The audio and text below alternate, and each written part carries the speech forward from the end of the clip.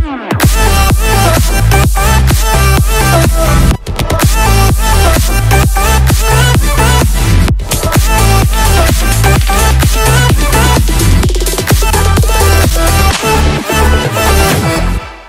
привет! В эфире новый выпуск программы «Поколение Next». Но для того, чтобы нам его провести, мне нужно найти Стаса. Помогите Даше найти Стаса. А где же Стас? Вы точно его видите? Покажите на него пальцем. Ладно, Даша, ты не путешественница, а я не башмачок. Но все равно мы проведем с вами вместе выпуск программы «Поколение Next». Всем встать! Суд идет! Виновен! Да за что? А за что, вы узнаете в следующем сюжете. Вот наступило долгожданное лето, и все ребята ушли на каникулы. Некоторые уехали к бабушке в деревню или на море, а кто-то сидит дома и не знает, чем себя занять. Как раз таки о том, что делать в свободное время не надо, мы и расскажем.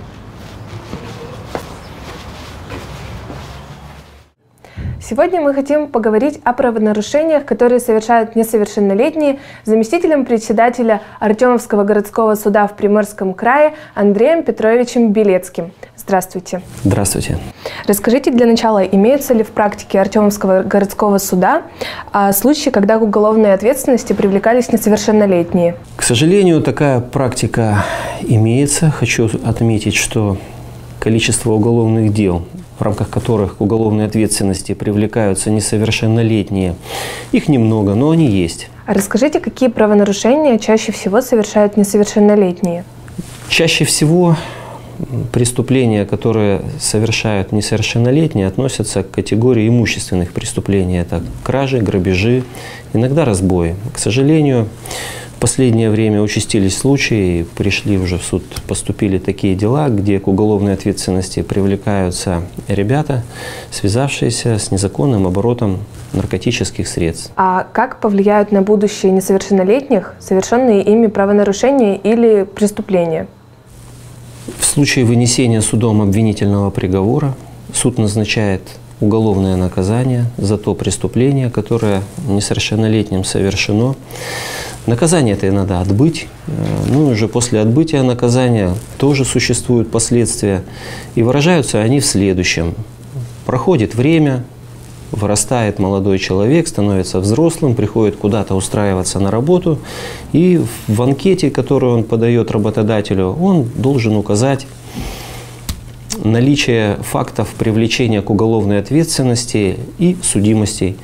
И в случае, если таковые имеются, работодатель вправе ему отказать. Данное правило в основном распространяется на лиц, которые претендуют на замещение должностей муниципальной, государственной, гражданской службы, правоохранительной службы, службы в вооруженных силах, специальных службах. Более того, все сведения хранятся достаточно длительный период времени – сведения о совершенных преступлениях, фактах привлечения к уголовной ответственности. И впоследствии уже, когда у этого молодого человека появляются свои дети и возникает вопрос об их трудоустройстве, тоже возникают препятствия, поскольку в ряд государственных органов уже не примут такого гражданина, поскольку мама или папа имели судимости. Поэтому прежде чем что-то совершить, нужно, наверное, очень крепко задуматься – Стоит ли это того? А что вы посоветуете несовершеннолетним, чтобы не происходили вот такие ситуации?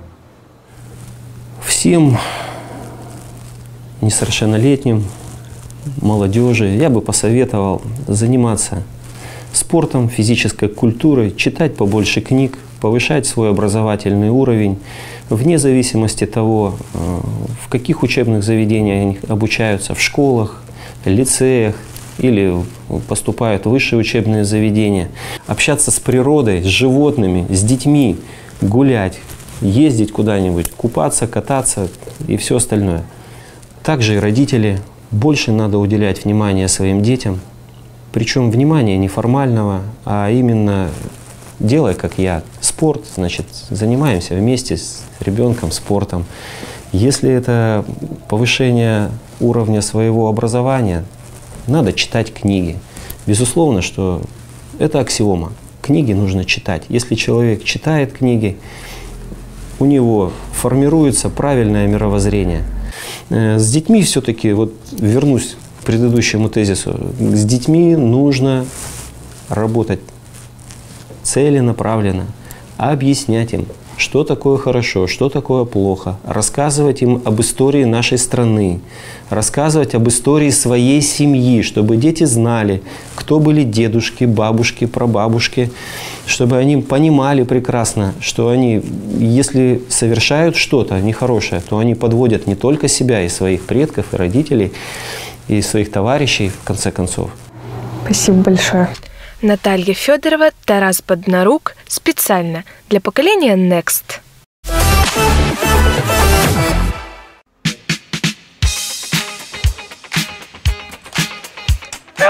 И что это за новый вид спорта? Ну, это видеооператорский прием жим штатива стоя. Ой, лучше бы посмотрела сюжет Маши. У нее про Спартакиаду. Ну что, давай посмотрим. Смотрим.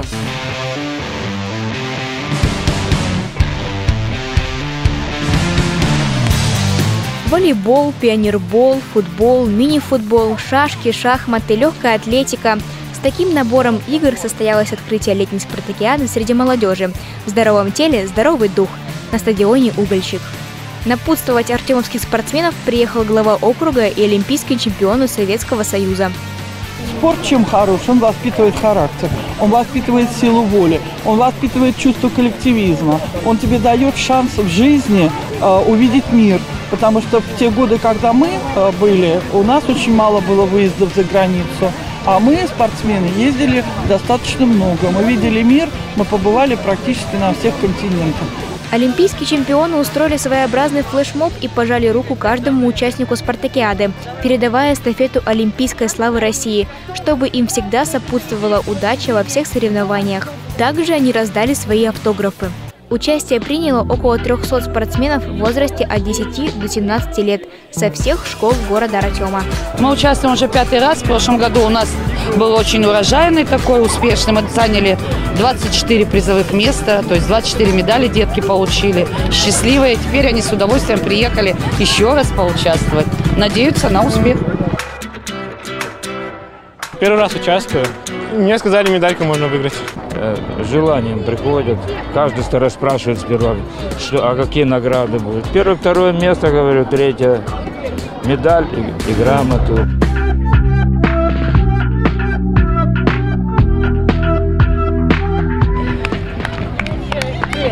Тебя как зовут? Лейла.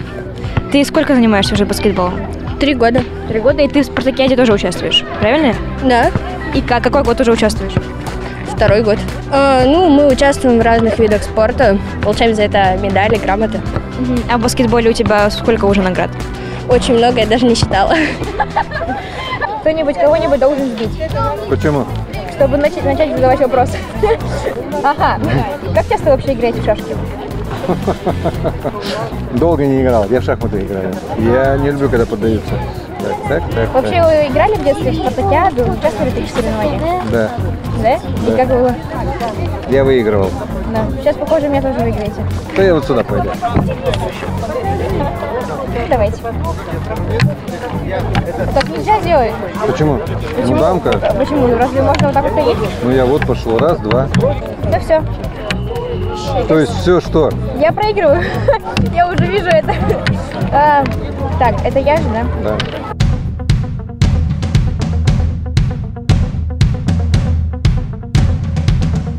Да я сдаюсь, да? Александр Владимирович, ну нельзя детей.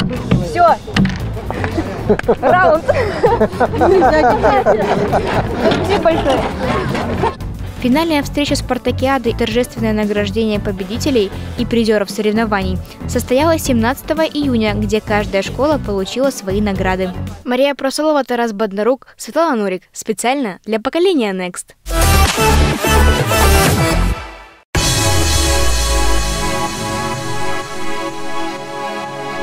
Ты устала рисовать этот шедевр?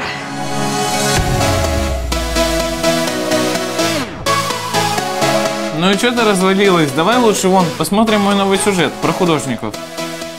А давай. Весь год дети трудились и занимались в школах искусств. Казалось бы, самое время отдохнуть, лето. Но эти дети не такие. Они занимаются и летом. А для чего они это делают, мы узнаем прямо сейчас.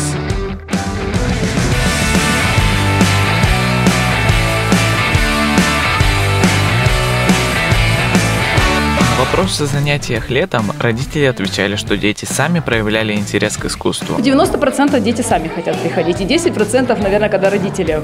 Малыши, они всегда хотят ходить на занятия. Старшие дети, может быть, некоторых родители отправляют. На этом занятии дети развивали моторику и лепили рыбок из соленого теста.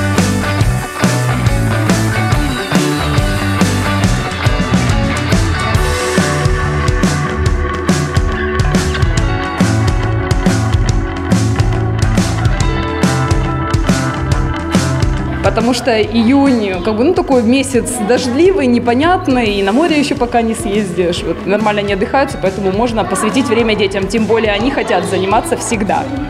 Как призналась педагог, талант есть у каждого, поэтому я вдохновился и тоже решил попробовать что-нибудь слепить. Желание. Самое главное – желание.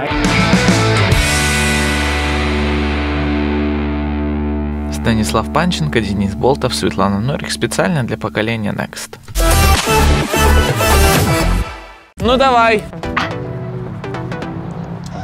Эх, ладно, слазь. Никогда тебе не стать воркаутером. Ну, Стас, я хочу заниматься этим. Ну ты же не как парни из твоего сюжета. Ну и что? Ну вот давай покажем зрителям. Давай. Конечно же, каждый из вас знает, чем заняться летом. Можно покататься на велике, на роликах, заняться другим видом уличного спорта.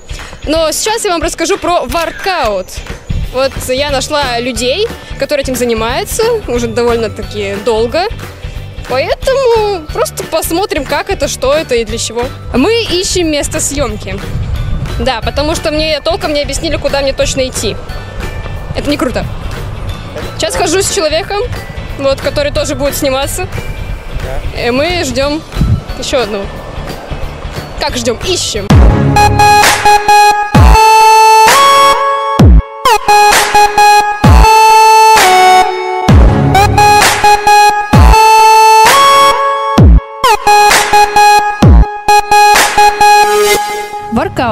Уличная гимнастика, которая может быть отнесена к любительскому виду спорта, физической культуре и представлять собой спортивную субкультуру. Включает в себя выполнение различных упражнений на уличных спортплощадках, а именно турниках, брусьях, шведских стенках, рукоходах и прочих конструкций. Или можно вообще без их использования, то есть на земле. Основной акцент делается на работу с собственным весом и развитием силы и выносливости. Люди, увлекающиеся таким видом спорта, называют себя по-разному. Воркаутеры, уличные или дворовые спортсмены, уличные гимнасты, турникмены. Образовался сомнительно недавно. Представителей этого вида спорта в Артеме мало, но мне удалось отыскать двоих и расспросить их получше.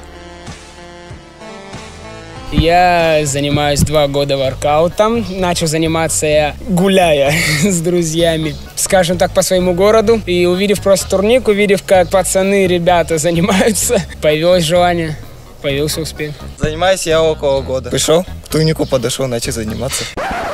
Забавно. Ладно, Хорошо. всё. Чем он тебя привлек? Это адреналин, зрелищность, и вообще красота действий, и та же гимнастика.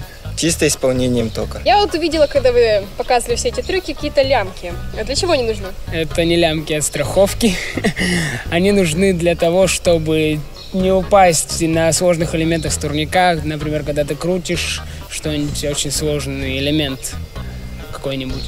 И чтобы не упасть с турника, не соскочить, не получить травму, придумали лямки. Желаю успехов дальше. Стремление, больше стремления и чтобы больше всего получалось. И все было намного быстрее.